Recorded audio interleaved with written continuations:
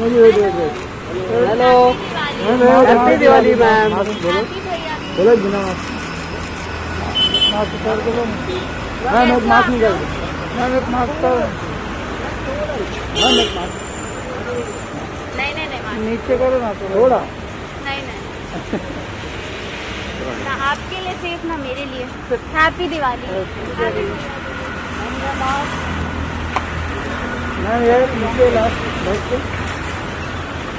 बैठ ना? बैग उसको दीजिए गाड़ी में रख देते ना?